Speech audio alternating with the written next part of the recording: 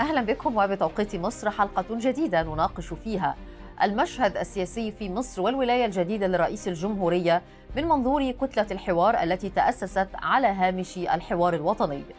كما نتطرق إلى الوضع الاقتصادي في مصر في ضوء مشروع الموازنة العامة للحكومة والتي تضم ولأول مرة الموازنة العامة للجهاز الإداري وكافة الهيئات الاقتصادية.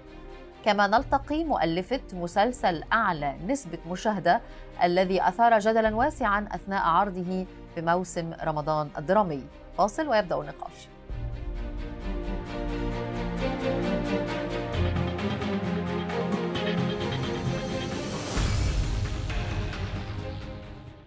على هامش جلسات الحوار الوطني بمصر أعلن عن تأسيس كيان سياسي جديد تحت مسمى كتلة الحوار. والتي ضمت عددا من السياسيين والحزبيين السابقين ومجموعة من الأكاديميين والمستقلين.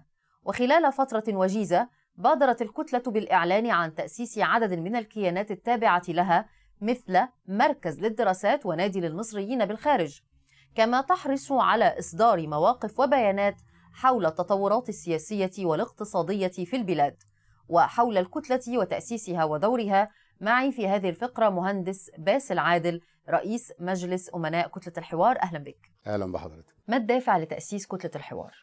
الحقيقة المسألة ولدت من رحم الحوار الوطني آه، من تفاصيل الحوار من المرحلة الجديدة اللي بتتولد. لقينا إنه الحوار عنوان المرحلة وإنه آه، من الطبيعي وحضرتك تعرفي في عالم السياسة إن المراحل بتولد كيانات سياسية زي مثلا تاريخ الوفد وبدايته. فأنا شفت إن المرحلة دي مبشرة ومنذرة بتغيير كبير وإنه التغيير ده لازم يكون ليه أنصار ودافعين وناس تمد جسور الثقة وتخلي النظام يثق في التغيير ده. ففكرت من جوه الحوار الوطني وأطلقنا شهادة ميلادنا كانت 23 5 23 فيها شكلنا توجهاتنا وهكذا. حضرتك بتقول إنه النظام يثق مين اللي يثق في مين؟ المعارضة اللي تثق يعني المعارضة تثق في الأقلية اللي بتحكم ولا الأقلية اللي بتحكم هي اللي تثق في المعارضة اللي بتقول رأيها اللي دورها أساسا هو تصويب مسار الحكم؟ صحيح. هو المفروض كل الأطراف تثق في بعض. مش معنى إن إحنا مختلفين إنه نفقد الثقة في بعض أو نخون بعض. والدولة لما جت الدولة الجديدة اللي موجودة بالنظام السياسي اللي موجود جه بعد ثورتين فعنده شك وعنده بيحافظ على الدولة وكان في إرهاب وكان في شكوك مشروعة إن البلد بتحاول إن هي تلم نفسها. آه، وجايز ده اللي يغفر للفترة اللي فاتت إنه السياسة كان فيها انغلاق شبه يعني كامل. لكن لما الدولة تقول أنا هفتح وأنا هبدأ مسار جديد دورنا إحنا الوطنيين والسياسيين إن إحنا ننضم لهذا المسار نوسعه ونكبره ونحاول نستفيد منه نوسع الناس اللي هتستفيد بيه عشان كل البلد تستفيد منه الكتلة ليست حزب وليست جمعية أو نقابة ما توصفها القانوني والسياسي؟ كتلة الحوار هي يعني مجموعة سياسية إحنا حاليا حزب تحت التأسيس برضه. آه، لو حضرتك آه. بتتكلمي على القانون إحنا قدمنا ورقة لجنة شؤون الأحزاب بأننا عايزين ننشئ حزب وابتدينا التوكيلات وجمعنا تقريبا حوالي 500 توكيل. يعني إحنا في مسار جمع التوكيل. حزب تحت التأسيس ده كيان قانوني. بالنسبة للكتلة إحنا بنشرع وبنجهز دلوقتي لجمعية آه، تبقى موجودة ومؤسسة باسم كتلة الحوار. لكن في النهاية أنت عارفة حضرتك السياسة شرعية. والشرعية تم اكتسابها من جلسات الحوار الوطني من بياناتنا من تواجدنا من إنه الناس اللي موجودة في الكتلة ناس قديمة. الكتلة كان لها العديد من الأنشطة منذ تأسيسها ونظمت فعاليات في الشارع. كيف سمح لها بذلك في حين أنه أحزاب لها شرعية موجودة بالفعل لا تستطيع أن هي تخرج للشارع أو تقوم بنفس الفعاليات؟ صحيح إحنا نظمنا آه، فعالية في الشارع واحدة وفعالية تانية في مكان. الفعالية اللي في الشارع كانت واقفة عشان غزة دي كانت على رصيف المقر. والحقيقة يعني هم ما كدوش خبر الشرطة جات لنا واضطرينا يعني يعني ما كانش. المسألة بالأريحية اللي حضرتك متخيلها أو بالظن اللي حضرتك متخيلها أو أي حد يتخيل يمكن أنا ما تحدثتش. عن الفعالية دي تحديدا تحدثت عن الفعالية اللي تمت في إحدى المحافظات وكانت صحيح. تقريبا ألف شخص مدعو فيه ألف وألف برة طيب. في الأقصر برافو آه، ما سمح دي؟ دي, دي التانية إحنا حضرتك قدمنا آه، في المحافظة دي قاعة المؤتمرات الأساسية في المحافظة كان قبلها بيان سابق إن إحنا ما عندناش مرشح للرئاسة ما. بنتبناش مرشح لكن بنتبنى برنامج وعملنا البرنامج وقدمناه في البرامج وكنا بنعمل مؤتمر لتشجيع الناس على المشاركة في الانتخابات أيا كان الرأي صح أو غلط من الإطار ده ومن التنظيرة دي سمح. لو ما كانش هيسمح ما كناش عملناه. لكن سمح ال- الموضوع وإحنا الحمد لله عندنا لجنة هايلة في الأقصر قدرت تحشد هذا الحدث. والحقيقة الحدث أنا معاكي هو كان غريب لكن هو يحسب لينا وللدولة مش ضدها مصادر تمويل الكتلة منين؟ شوفي حضرتك مصادر التمويل آه، أنا راجل عندي شركة بشتغل آه، بقالي 30 سنة. زي كتير في الكتلة. آه، الأحداث بتاعتنا كل الناس بتمولها. فإحنا بنمولها آه، من جيوبنا. ونفسنا برضو يبقى عندنا مصادر تمويل أعتبر إن دي دعوة. يعني إحنا فعلا نفسنا ينضم لينا رجال أعمال ويمولوا عشان نقدر نعمل الفعاليات الكبيرة اللي موجودة. لأنه حضرتك الظن بإنه أي حد بيعمل فعاليات ففين مصادر تمويله. لا هو العتب على اللي عنده حزب سياسي بقاله 20 و30 سنة. ومش عارف يعمل fundraising مش عارف يعمل تمويل ومش عارف يبقى موجود على الساحة ومش عارف يبقى أمل للناس. فمحدش بيموله ولا حتى أنصاره ولا أعضائه بيدفعوا فيه. ده عتب؟ آخر. مين الجهة مين ال... مين ال... المستهدفين من كتلة الحوار؟ مستهدفين حضرتك المين ستريم في الشعب المصري التيار الرئيسي. المصريين لا هم مع المعارضة الجارحة ولا هم برضو مع موالاة التطبيل. مصريين مش كده. مصريين شعب وسطي. أنا بستهدف عموم الشعب المصري الوسطي اللي هو عايز ناس محترمة تتولى الإصلاح السياسي جادين هادفين يشوفوا ناس زينا بيعملوا مركز دراسات بيطلع أوراق قدموا برنامج تبنيناه ما تبنيناش مرشح لأنه مش كل المرشحين على نفس أفكارنا. إحنا كان لينا برنامج رئاسي كامل وقدمناه لحملة السيد الرئيس وقدمناه لحملة الأستاذ فريد زهران وبعتناه للشعب الجمهوري المهندس حازم بعتناه للكل ونشرناه. هل تم الأخذ بيه بعين الاعتبار؟ آه، يعني أنا أنا النهارده التوجهات ال- اللي قالها الرئيس أو الرئيس اللي قالها في في اليوم التنصيب السبع توجهات جزء كبير جدا منهم متاخد من البرنامج وهي توجهات طبيعية الاهتمام بالمواطن والصحة والصناعة وتوطين الصناعة والتصدير الميزان التجاري وهكذا. فبيتم الأخذ بيها. فجايز الناس شايفانا شوية جادين وشوية بنجتهد. الكتلة بادرت أيضا إلى تشكيل عدد من الكيانات زي نادي للمصريين بالخارج مركز دراسات وحكومة ظل. وغيرها من الكيانات. إيه الهدف منها؟ الهدف إن إحنا يبقى عندنا كيانات ومكنة فاعلة. على فكرة في حاجات تانية في النادي الاقتصادي والنادي الاجتماعي نعم. في مدرسة المحليات ده مشروع كبير جدا مم. بيستخدم خ... بيستهدف 5000 شاب لنزول محليات. إحنا بنعمل مسرحية عمل درامي عن قانون المحليات. خلصنا النص مخرج ابتدى يشتغل بتمويلنا. وفي المسارح البسيطة هنعرضه. إحنا بنستهدف العمل السياسي برؤية جديدة ومختلفة. حكومة الظل ده في العالم كله أي. معارضة أي معارضة. أي إيه يا أستاذة اسمها معارضة؟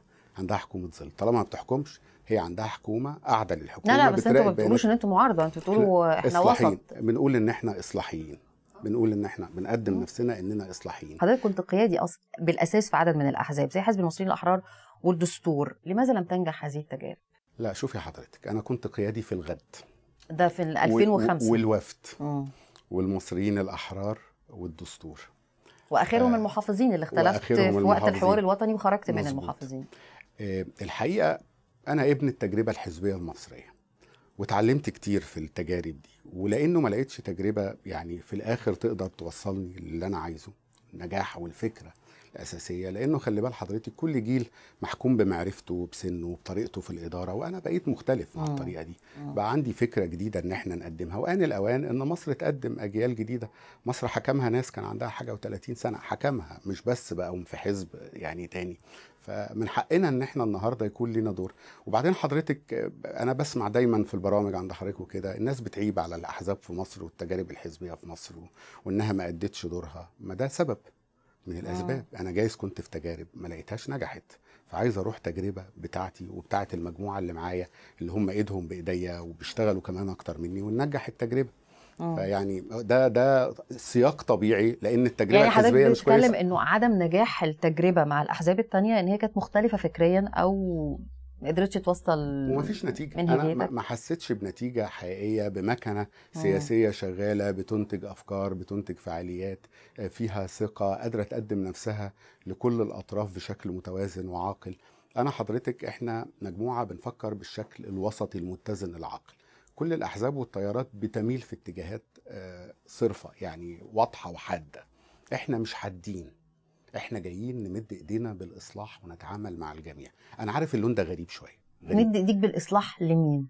للدولة؟ للدولة. آه طبعا للدولة لأنه في خلاف في طريقة مم. الإدارة. في مشكلة في الإدارة. إحنا بنقدم ولا إحنا بنقدم بياناتنا نقول إيه؟ إحنا عندنا خلاف.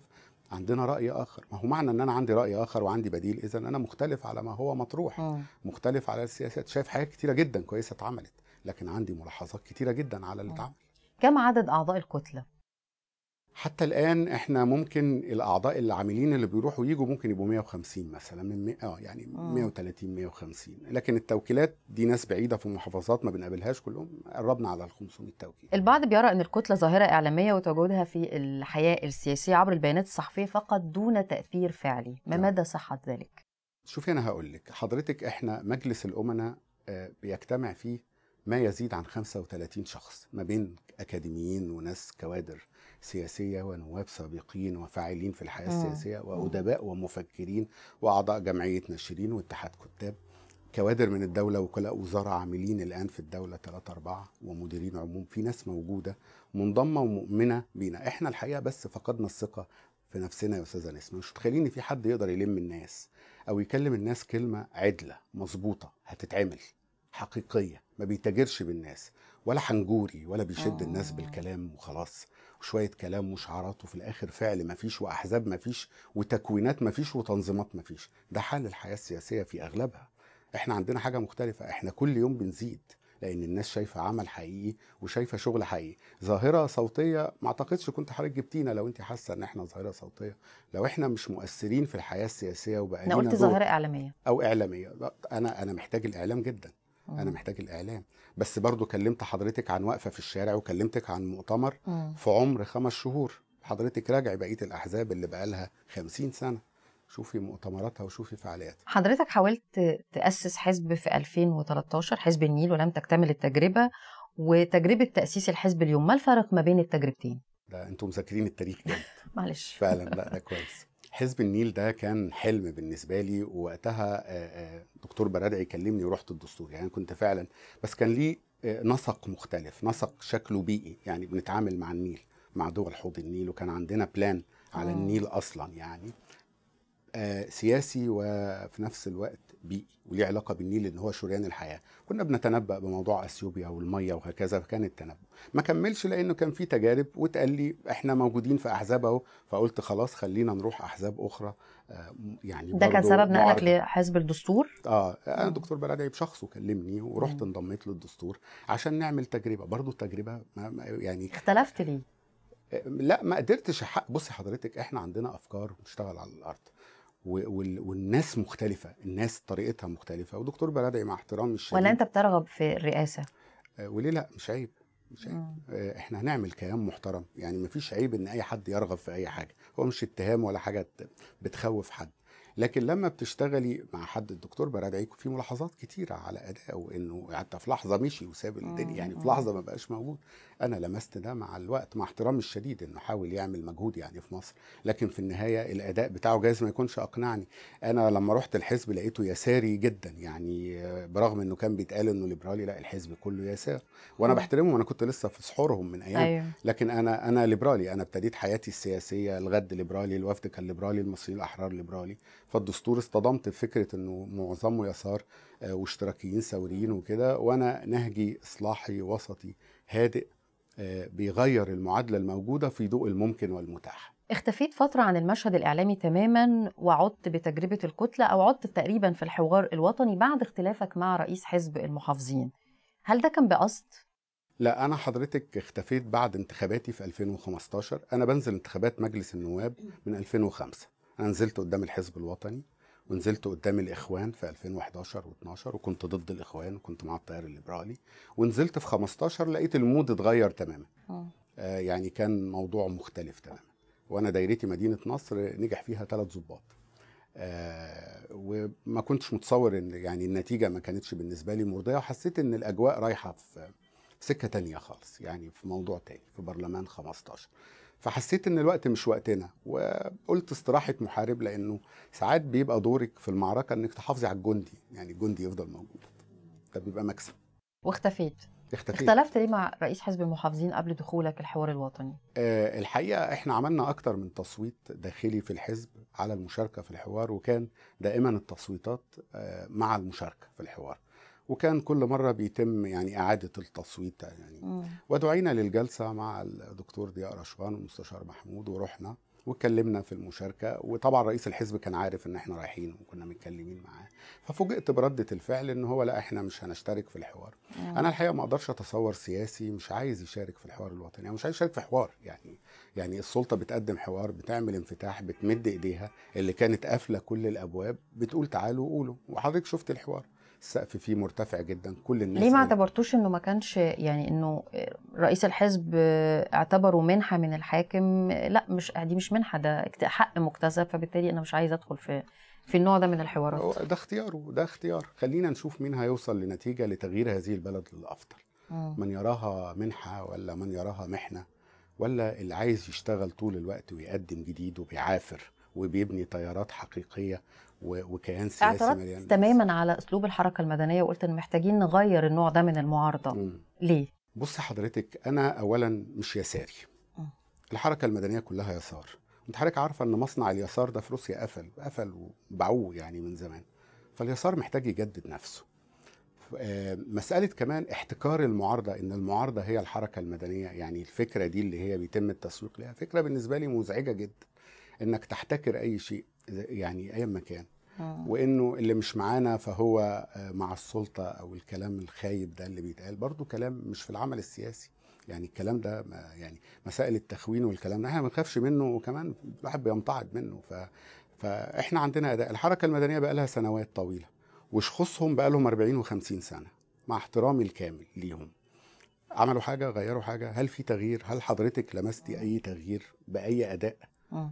ما ما ما, ما حصلش. طيب ما تسيبوا تجربة جديدة ما تهاجموهاش. هي واقفة في منطقة محترمة إصلاحية بتقدم دايما رؤاها بتقدم حلولها. سيبوها تشتغل من قبل ما تهاجمها ومن قبل ما تقول عليها لأنه في النهاية ما فيش أكتر من الاتهامات في العمل السياسي. يعني مم. اللي بيرد على ده حضرتك دايما الممارسة والمستقبل وعملنا اللي قدمناه واللي لسه هنقدمه إن شاء الله.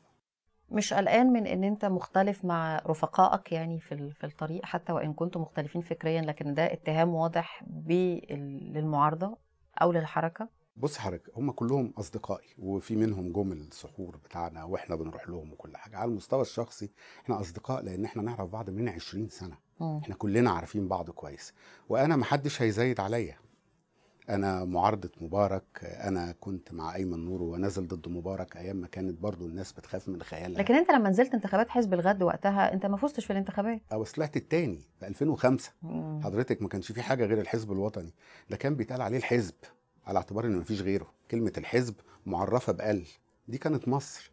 مصر دي إحنا نزلنا وتحدينا فيها الواقع. إحنا شباب من اغلى التغيير. إحنا كفاية. إحنا ثورة يناير. إحنا ثورة 30 يونيو. مفيش حد يقدر يزايد علينا.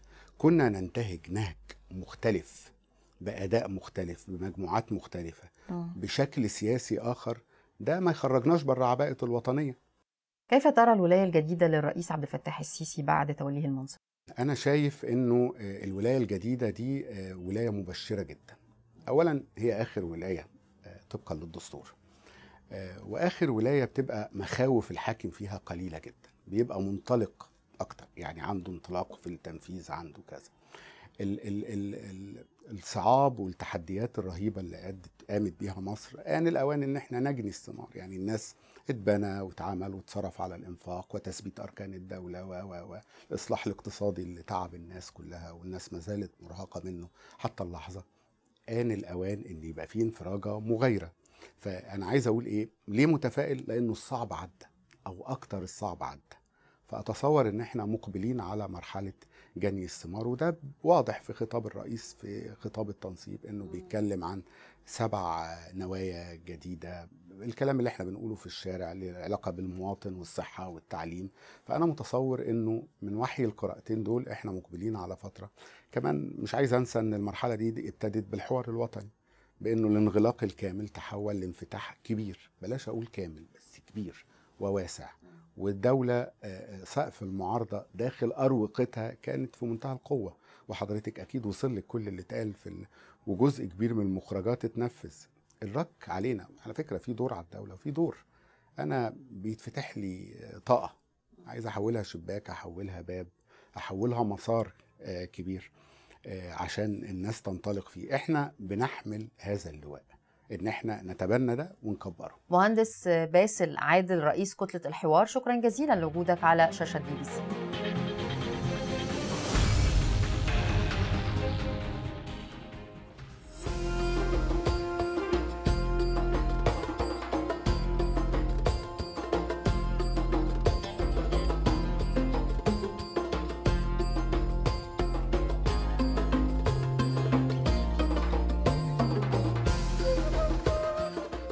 برضو على قد السعر يعني مقا... يعني جودة كويسة مقابل السعر بتاعها. يعني مثلا لو أي فرن هنا هتلاقي الأسعار مع- مع- معدية المية.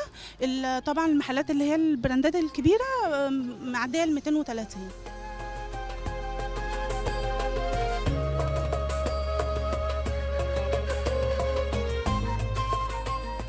ده عشان وصلت للمصنع. أنا وصلت اليد الأولى. عشان كده جبته لك وجبته للمواطن يشتريه بالسعر اللي شايفاه ب 75 جنيه. حتى الز- الزبون بيجي يشتري إزاي ده ب 75 هو معمول بإيه؟ أقول له كل وشوف.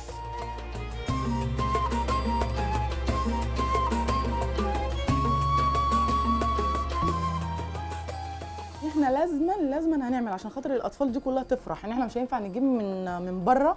الكيلو أصلا ما فيهوش بركة. بتاع بره دوت ما فيهوش بركة. وأنا عندي حماتي جايبة ما شاء الله تسعة.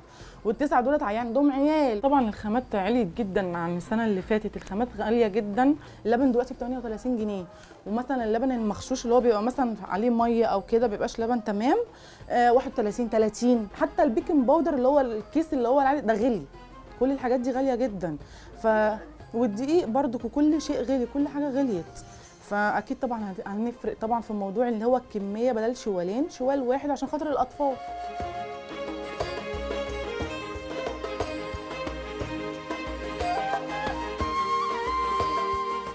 جه رمضان بقينا بنجري بقى نجيب من الجمعية من أي حتة يعني فيها. بقى يدونا بقى إيه باكوين بقى كيلو السكر بقى يديك كيسين بس. بخمسة وخمسين. لكن الشراتين من بره ادونا غالي بنلف على الجامعات بتاعتنا إحنا عندنا جامعتين هنا واحدة في الميدان وواحدة هنا. ما بالعافية ما تلاقي فيها.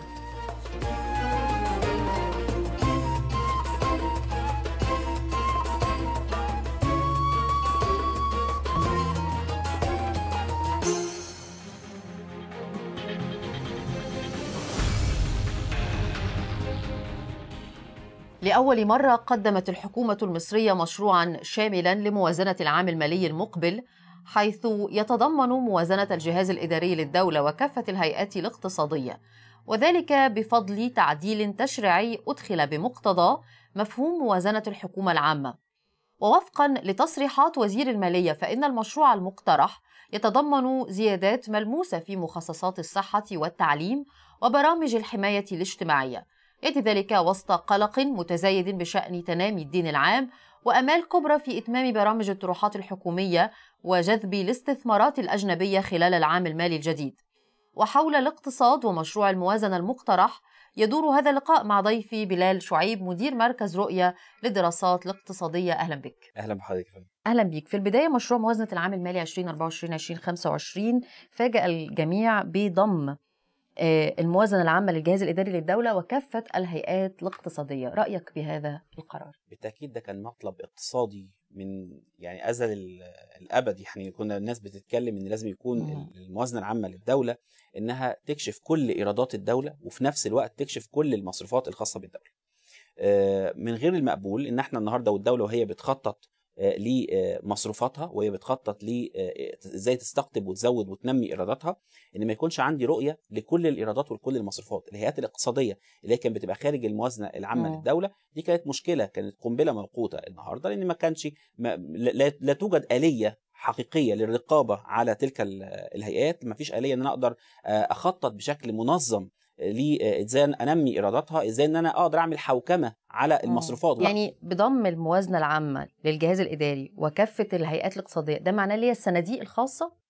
بالتأكيد. الصناديق الخاصة والهيئات الاقتصادية اللي هي كانت خارج الموازنة العامة للدولة. كان هناك بعض الهيئات مثلا آه، خارج الموازنة العامة للدولة. يعني تتبع مثلا وزارة زي وزارة الصحة عندها بعض ال- ال- الهيئات آه، آه،. فيما يتعلق بنقل الدم أو فيما يتعلق بحاجات زي كده. كانت خارج الموازنة العامة إنه لو فيها عندها فائض أموال بتضم على الموازنة العامة للدولة. فبالتالي أنا هنا وأنا بشوف الموازنة العامة للدولة بشوف رقم الإيرادات بالكامل. وبشوف رقم المصروفات بالكامل. ده هيمكن آلية من آه، حسن تدبير المصروفات إن أنا إزاي إن أنا أصرف بشكل آه، في المكان المخصص ليه المظبوط. بشكل آخر إن أنا أقدر أخطط لايرادات الدولة بشكل كبير طيب ال- الأرقام كانت بتقول إنه إجمالي مصروفات الحكومة العامة هيكون 6.4 تريلي- تريليون جنيه وإيراداتها 5.5 تريليون جنيه حكم الأرقام كيف يحدث أو بعد تصريحات وزير المالية إنه هيكون في فائض أولي بنسبة 3.5% ما هنا بقى دي إدارة الموازنة العامة للدولة إزاي إن أنا أديرها بشكل يقدر يحقق لي فائض أولي؟ يعني خلينا نقول لما بنتكلم النهارده مع التضخم ومع ارتفاع أسعار الصرف لو شفنا كان هناك نقلة نوعية أنا شايف في بعض البنود. يعني لما بنشوف النهارده الإنفاق مثلا على آه، أكتر حاجة يتم الإنفاق عليها آه، في الدولة هو آه، ملف الصحة والتعليم. يعني لما نشوف النهارده إن ملف التعليم حوالي 700 وحاجة مليار جنيه فالموازنة السابقة ليها كان آه، أقل من كده حوالي 150 مليار جنيه. آه، التعليم بشكل كبير برضو تم زيادة الإنفاق عليه بشكل كبير. وبالتالي النهارده آه، مع وجود النفقات دي الدولة النهارده هتمارس دور من أنواع نوع التقشف في بعض المصروفات. يعني في حاجات أولويات هن... متخذ القرار وهو بيحدد أوجه الصرف هيحدد بعض البنود هيصرف عليها والبعض الآخر آه، مش هتكون في مرتبة أخرى أقل. طيب. حضرتك قلت إن المخصصات الخاصة بالتعليم والصحة هتزيد لكن بواقع الأمر بارتفاع وانخفاض الدولار ونسبته على مكانة الموازنة العامة القديمة والسابقة هنلاقي إنه مفيش زيادات بالمعنى المفهوم. مظبوط. أتفق مع حضرتك في جزء منه لكن خلينا نقول إن ده الوضع القائم النهارده. يعني ال- الدولار النهارده كان في في البنك المركزي والبنوك العامله في القطاع المصرفي كان 31 جنيه.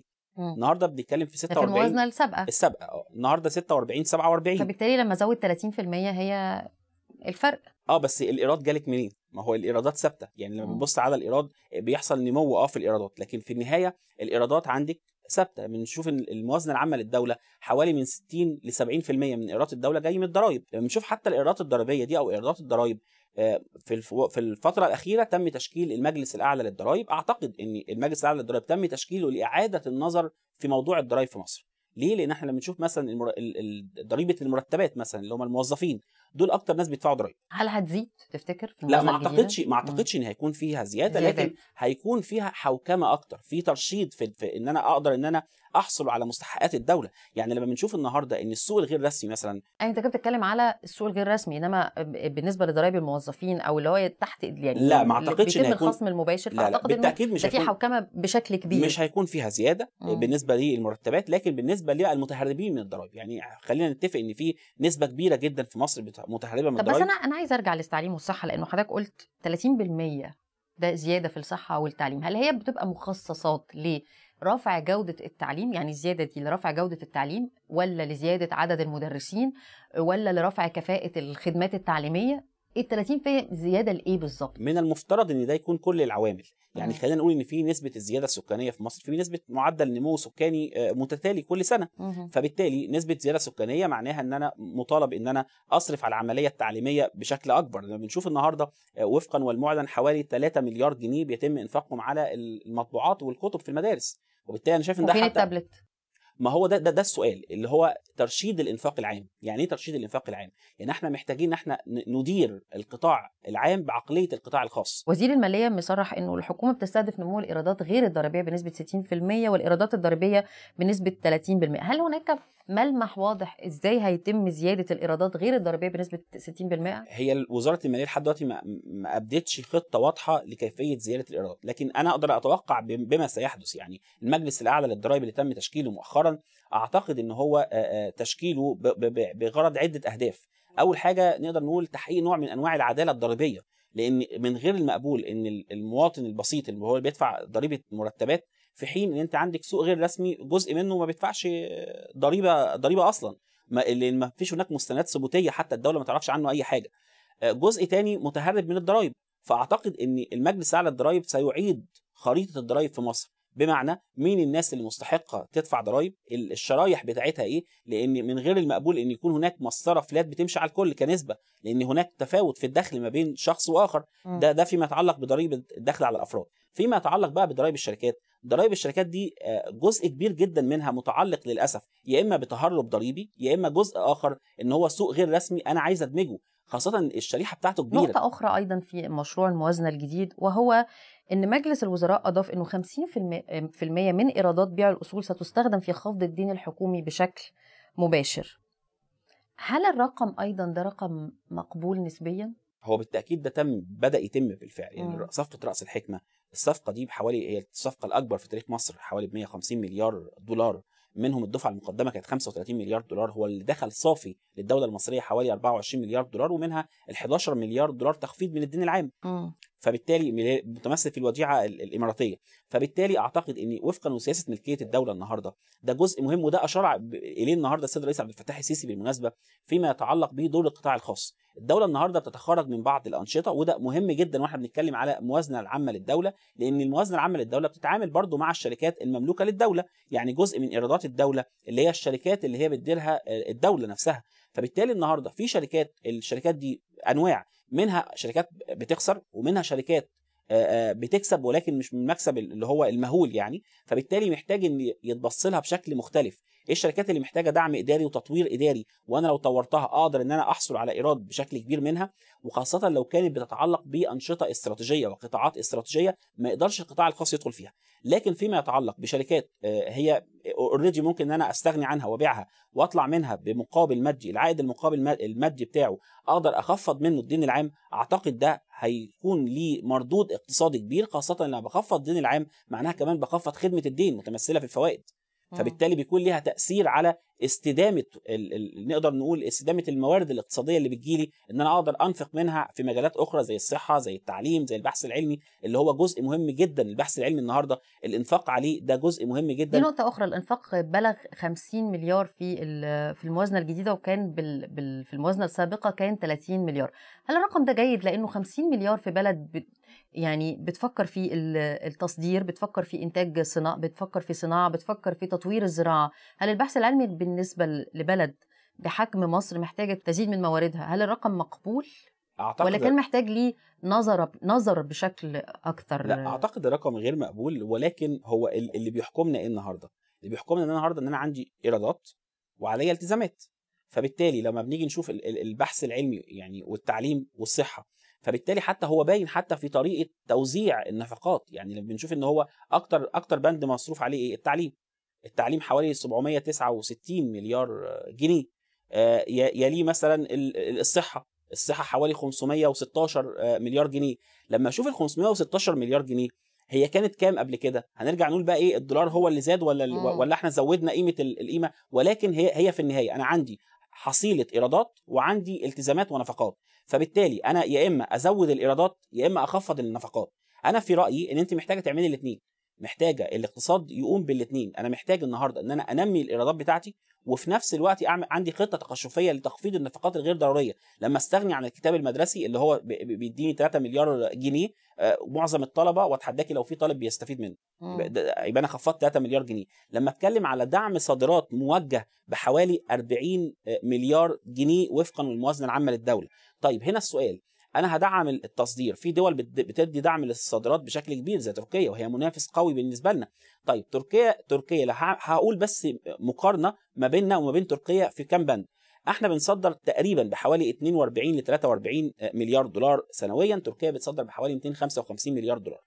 لو هنتكلم على قطاع من القطاعات قطاع الغزل والنسيج والملابس الجاهزة مصر بتصدر مجتمعة في قطاع الغزل والنسيج والملابس الجاهز ال- ال- الجاهزة. وخدي بالك دي صناعة متوطنة في مصر. طيب. بتصدر بحوالي 3 مليار آه، دولار سنويا. المقاصد الثانية يعني تركيا بتصدر بحوالي 30 مليار دولار. فأنا بالنسبة لي حصيلة التصدير هل بتدخل داخل الجهاز المصرفي؟ الإجابة لا. امال بتروح فين؟ السوق غير رسمي قبل تحرير سعر الصرف. لأن الناس دي ما كانش هناك ضابط وده وده كان تصريحات السيد وزير المالية هو صرح بده ورئيس الوزراء كمان إن الفترة القادمة ستشهد ان أنا مش هدي لك دعم صادرات إلا لما تنزل لي عن العملة الدولارية مم.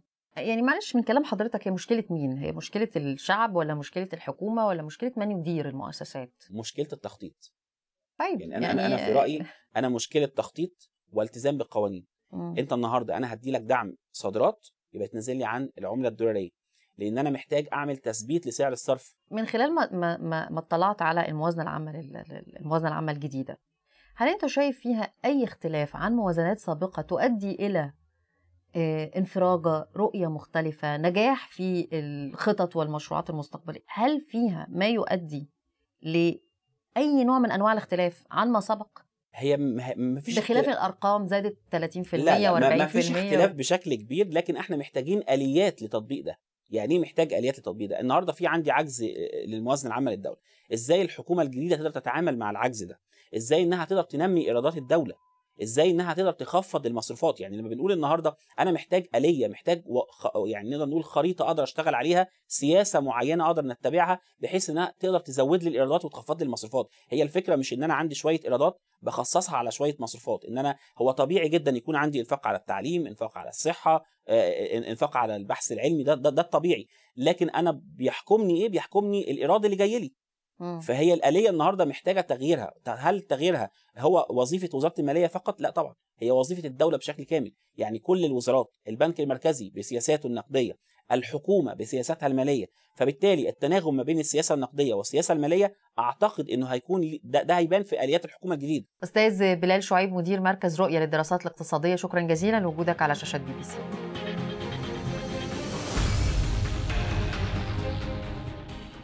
من وحي التفاعل على وسائل التواصل الاجتماعي. طرح هذا الموسم الدرامي بشهر رمضان مسلسلا بعنوان أعلى نسبة مشاهدة والذي تناول حبكة درامية حول تأثير ال social media أو وسائل التواصل الاجتماعي الافتراضي على الحياة الاجتماعية لنموذج من الأسر المصرية. وكيف غيرت من أسلوب معيشة الأسرة وانعكست على مصائر أفرادها. وحول الفكرة واستلهامها ومعالجتها الدرامية يدور حواري في هذه الفقرة مع مؤلفة مسلسل أعلى نسبة مشاهدة سمر طاهر أهلا بيكي أهلا وسهلا هل كنت تتوقعي هذا النجاح لأعلى نسبة مشاهدة؟ اسم على مسمى الرد. التقليدي كنت متوقعة نجاح لأنه. عارفة إن في عناصر نجاح وفي صدق في, في الكتابة وفي كل في, كل المراحل بس برضو هو هو حقق نجاح أكبر من اللي تخيلته العمل خاصة إنه في رمضان مع هذه الوجبة الكبيرة قوي تخيلت إن هو هيبقى مشاهدته يعني أقل من كده بشوية ففوجئت منه كنت كاتباه 15 حلقة ولا كنت كاتبة على أكتر من من 15 لا حلقة؟ هو كان من الأول هو إن هو يعني مسلسل قصير 15 حلقة. فده كان معروف من الأول ولو إنه بعد كده يعني وأنا أثناء الكتابة وحتى بعد العرض الناس قالوا كان ممكن يبقى أطول بس آه بس ما حبيناش برضو نمط يعني. فكده هو مكثف بعض التعليقات كانت قد إيه إنه زمان كانت الك- ال- الكتابة هي اللي بتحرك المجتمع. دلوقتي السوشيال ميديا أثر على إنك تقتبسي منه أو أو الأحداث اللي بتحصل فيه أنقلها على التلفزيون. ده مظبوط؟ هي بقت جزء من المجتمع وهي أكيد هي محرك لأشياء كتيرة ومحرك كمان مش للدراما بس لحتى الدراسات يعني الدراسات النفسية والاجتماعية. ما هي هتلاقي في دراسات كتيرة جدا على السوشيال ميديا من من 20 سنة ما كانتش موجودة. و- وبرضو أنا أحب أقول إن مسلسل ال- يعني ال- ال- السوشيال ميديا هي مش مش حلية هي محركة الأحداث بس هي مش الأصل هي مش السياق. هو هو في الآخر هو مسلسل عن بشر وعن علاقات اجتماعية وعن البيت ده اللي بالسمات دي اللي فيه. المشكلات دي. تابعتي التيك توك قد إيه لغاية ما كتبتي المسلسل ده؟ أنا أصلا مش من متابعينه قوي علشان أنا مش ضده هو في حاجات لذيذة قوي وفي حاجات وكمان عايزة أقول لك حاجة يعني هو في محتوى هادف زي ما بيقولوا يعني. وفي محتوى حتى لو بسيط أو تافه هو حلو برضه لأن التفاهة دي مطلوبة. إحنا محتاجين نضحك ومحتاجين نشوف حاجات كده ملهاش معنى بس ليها في الحقيقة معنى. وأنا أنا بس كان أنا شخصيا تفضيلي للسوشيال ميديا بخاف من الفيديوهات القصيرة لأن هي بتعمل حالة من الاعتمادية يعني وشايفة في ناس حواليا كده ما بقاش حد عنده صبر يشوف شيء أطول حتى حلقة مسلسل نص ساعة ما حدش عنده قدرة إنه يتابعها من كتر السرعة في. صح تقلل الانتباه. اتعود على.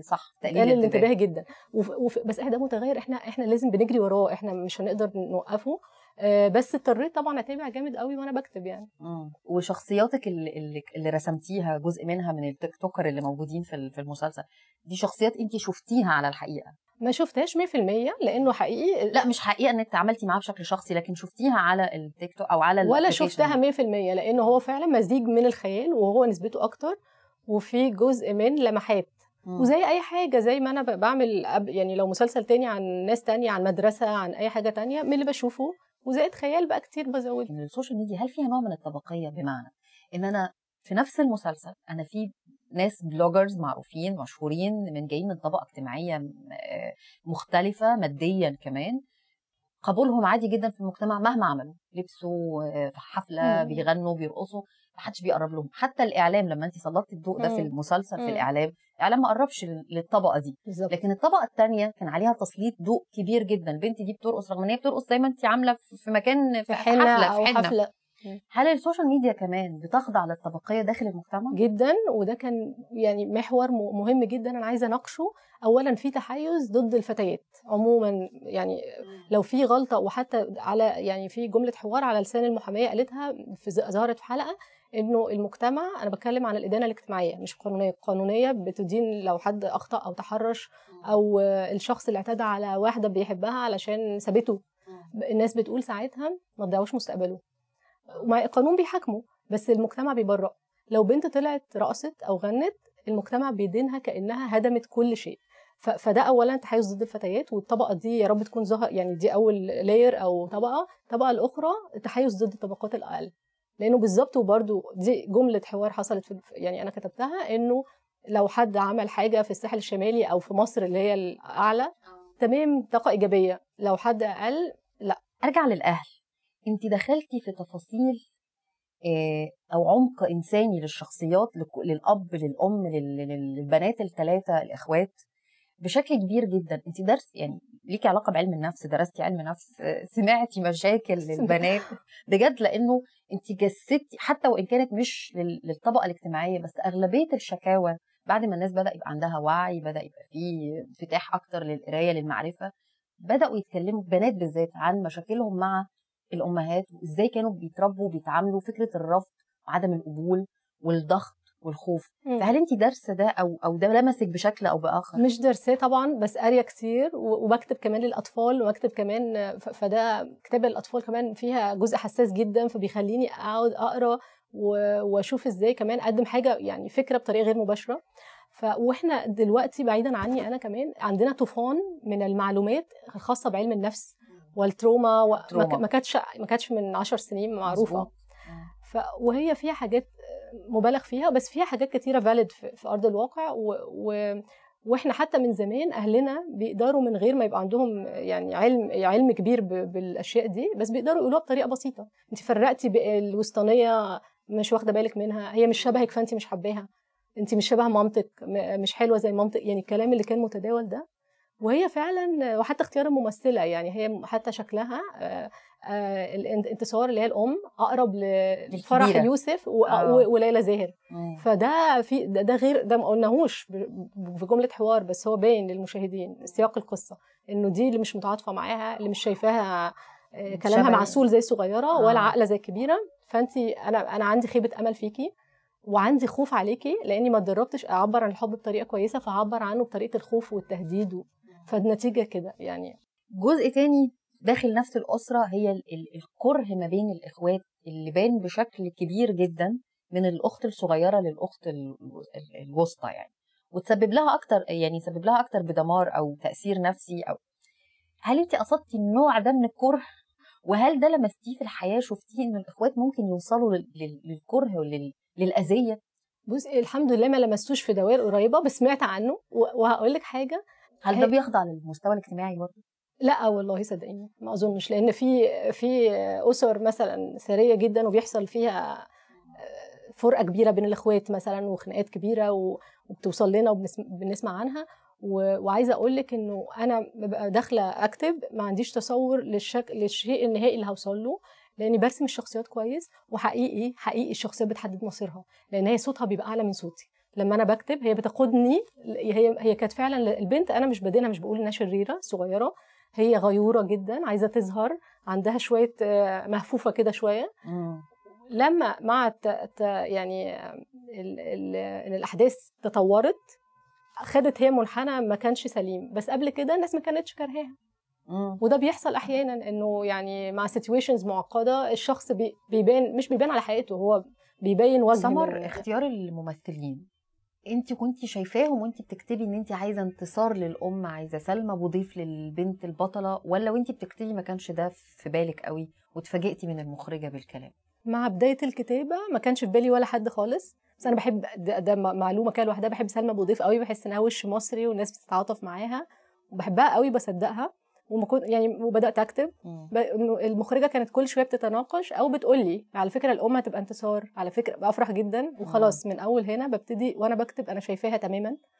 آه ولما عرفت بقى إنها سلمى برضو انبسطت قوي. و على آه في نص الكتابة كده كنت عرفت معظم الناس فكان خلاص هم لحمة ودم قدامي يعني. طب حاجة حاجة كمان كانت في العمل وهي اللكنة اللي استخدمت أو طريقة النطق اللي استخدمت. بعد علق عليها في البداية خالص أول عرض المسلسل إنه أنتوا بتتريقوا وأنتوا بتعترضوا على الناس اللي بتتكلم بالطريقة دي. هل ده كان مقصود ولا مش هي دي النوع ده مش نوع من الاعتراض على طريقة الكلام؟ لا ما كانش مقصود خالص كان كلام يعني مكتوب عادي. ومخرجة برضو ع- يعني لما نزلت في الأماكن دي ولقت ناس بيتكلموا بطريقة معينة و- وجابت حد حد من المنطقة دي ودرب فعلا سلمى أبو ضيف. و- وهو في ناس علقت كمان أحب أقول لك إنه ليه طريقة سلمى وليلى غير مثلا مامتهم وباباهم؟ يعني هم تم يعني هو ده بنلاقيه فعلا في الواقع كده إنه إنه حتى في كل الطبقات الاجتماعية بيننا وبين جيل أبنائنا أو جيل آبائنا تحسي كل حد ليه اختلف كده مصطلحاته. والحاجة التانية مثلا حد زي ليلى بالذات عايزة أقول عليها إن هي فعلا مش عايشة في الواقع معاهم هي عايشة أكتر في العالم الافتراضي ف- فهي لوحدها كده شخصية من من العالم الافتراضي. ال- النهاية كانت البعض يمكن ما كانش حاببها لأنها يمكن الواقع كان أكثر إيلاما لكن مم. المسلسل ع- كانت ال- السجن آه لكن سجن بدرجة معقولة كان يعني. الموضوع مخفف أكتر. مخفف. لكن ال- الأغلبية كانوا حابين إنه لأ ما يكونش في عقاب في النهاية كفاية. هي اتعاقبت على مدار ال- الحزن والألم واللي. اتعرضت له طول الحلقات كفاية عليها كده انت شايفة إنه كنت تنتصري لل- للخيال أكتر من الواقع ولا للواقع عن الخيال هو كانت بروسس يعني في الكتابة فأنا كنت في فترة شايفة إنه هي بريئة وشايفة فعلا إن هي بريئة و... ولكن لما في. يعني طبعا المسلسل هو فعلا ضفيرة من الواقع والخيال فلما وصلت لمرحلة إن هي لما هربت من البيت وتورطت. ودي حتة مهمة قوي مش تحذير بقى تحذير لينا كلنا إنه أحيانا بسلامة نيه بتتورطي في حاجات. فهي في رحلة المسلسل كلها كانت بريئة آه، كانت بتعمل حاجات أهلها رافضينها والعيب هنا من أهلها إن هم رافضين حاجات يعني عادية وفي نوع من الكبت. فالخوف منهم ورطها في حاجات أكبر. الجزء الخاص بالتوريط في شبكة أكبر أو حاجة فيها إتجار بالبشر يعني في مستشار طبعا قانوني للمسلسل وكان لازم يحصل كده وإحنا فعلا لعبنا في حتة بين الإكستريم بتاع الخيال والمثالية وإن إحنا البنت بريئة وإحنا بنحبناها وبين الواقع اللي حصل واللي هو إنه فعلا في إدانة قانونية. قبل كده كان في إدانة مجتمعية شديدة قوي بس بعد عرض المسلسل وإنك وريتي ال- ال- الجانب الآخر من الشخصيات دي ممكن يكون عامل إزاي فده ده نوع من التعاطف بدل ما يكون في أحكام مسبقة على البنات. بالظبط كده. يعني أنا ضد الأحكام المسبقة وحاسة إن ده وصل للجمهور طبعا في طيف مختلف من الآراء يعني بس بنسبة كبيرة حسيت إنه في على الأقل أثرنا سؤال. ف... ف... فده كويس يعني. أنت أصلا دارسة إعلام مظبوط؟ أيوه. انتقلتي للسيناريو إزاي؟ أنا درست إعلام من باب إنه أقرب حاجة فيها صحافة وفيها حاجات لأني أنا عايزة أبقى كاتبة وعايزة أكتب وفعلا بدأت بالكتابه الصحفيه وعملت ماجستير في الإعلام كمان وكان موضوعه الأخبار ويعني كان موضوعه أكتر تدفق الأخبار الدولية وكده. وبعد كده بدأت أكتب للصحافة بمختلف أنواعها. كل شوية بجرب رافد بقى من روافد ال- الكتابة دي يعني قصة قصيرة كتبت الأطفال كتبت أدب ساخر. وجيت في لحظة حسيت إنه كمان عايزة أقدم دراما فوقفت تاني ودرست تاني في أكاديمية رأفت الميهي للسينما وبدأت بقى أكتب كمان دراما يعني. أنت كتبتي ورش الأول مظبوط؟ ولا ولا كتبت ده؟ في فرق كتابة بالظبط. زي مسلسل مثلا هذا المساء وورقه توت وأشياء كتيرة تانية يعني. أنت شاركتي في عمل هذا المساء. مم. هل التجربة كانت مختلفة وأنت بتكتبي في ورشة في ورشة كتابة و... وأنت مسؤولة تماما عن العمل؟ في فرق كبير في الاثنين آه في فرق كبير مش بالسلب ولا الإيجاب وكل حاجة ليها تحدياتها يعني. والكتابة يعني أنا شايفة الأقرب ليها الذاتية إن إنك انت تبقي مالكة الشيء بتعمليه و, و... لأن متهيألي و- الورش كمان ممكن كل وا... كل كاتب ليه انطباعاته عن الشخصيات أيوة. ليه رؤيته ليه أفكاره بس مش ليه معنى ال background بتاعته الخلفيه كده بالظبط كده. بس مش معنى كده إن هي تطلع دايما زي عشان في دايما انتقادات ليها بس مش دايما هتطلع عمل مش سيء بالعكس مم. في أعمال يعني أنا معتزة جدا بهذا المساء. كلنا مختلفين إن آه، أعضاء ورشة الكتابة أو فريق الكتابة وفي آه، رئيس للورشة وفي مخرج ليه رؤيه وهو كمان كاتب قصة. وكلنا كنا على قلب رجل واحد وكلنا كنا يعني درسنا الشخصيات لدرجة أنا لما بكتب شخصية فلان آه، غيري بيكتبها بنفس الطريقة وهي تحدي يعني هو أكتر تحدي بس هو ممكن نطلع منه بيحتاج جهد عشان نطلع منه ب... يعني الورشة بتاخد وقت أطول أو جهد أكبر من ك- ككاتبة لوحدك للعمل؟ هي بتاخد وقت انفستمنت أو استثمار في إن إحنا نبقى لينا نوحد الأصوات. لكن بعد كده بتبقى أسرع لأن في أربعة بيكتبوا آه، ففي أربع حلقات بتطلع في وقت معين. لما بكتب لوحدي كل حاجة هنا آه، سهل أنا عارفة كل حاجة. ممكن أتناقش مع مخرجة بس ما فيش كتاب تانيين. فبالتالي آه، هبقى أسرع. بس في جهد أكبر لأني أنا اللي بطلع حلقات.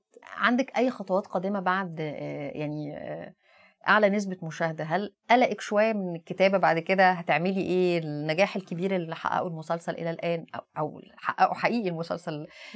هل عندك تخوف من اللي جاي بعد كده؟ مش تخوف بس اللي هو نظرة نظرة يعني وبوز كده ونظرة لأنه أنا قبل كده عندي مشاريع كتيرة وبدأتها وبحب أكتب كوميديا مثلا جدا. فعندي كده توقف آه، لاستيعاب الموقف وأشوف إيه الخطوة الجاية. بس يعني إن شاء الله عندي حاجات كتيرة. وعندي فيلم آه، اسمه النزيل يعني أنا كاتبة كذا فيلم بس في سيناريو فيلم اسمه النزيل كان أخد ساويرس جايزة آه. آه. وده يعني ده فيلم قريب قوي ليا ونفسي قوي أستثمر الفترة الجاية دي في إن أنا فعلا إزاي أعمل خطوة إنه يبقى في مخرج مناسب السينما. ويبقى إنه فعلا يطلع للنور يعني بس مم. لسه في أول الموضوع. شكرا لوجودك سمر طاهر مؤلفة مسلسل أعلى نسبة مشاهدة. شكرا جزيلا للمشاركة على شاشة بي بي سي. والشكر لكم مشاهدينا الكرام انتهت حلقة هذا الأسبوع من بتوقيت مصر. بإمكانكم مشاهدة الحلقة كاملة على جميع وسائل التواصل الاجتماعي الخاصة ببي بي سي نيوز عربي. شكرا لكم مرة أخرى والشكر لفريق عمل بتوقيت مصر. لكم تحياتي. نسمة السعيد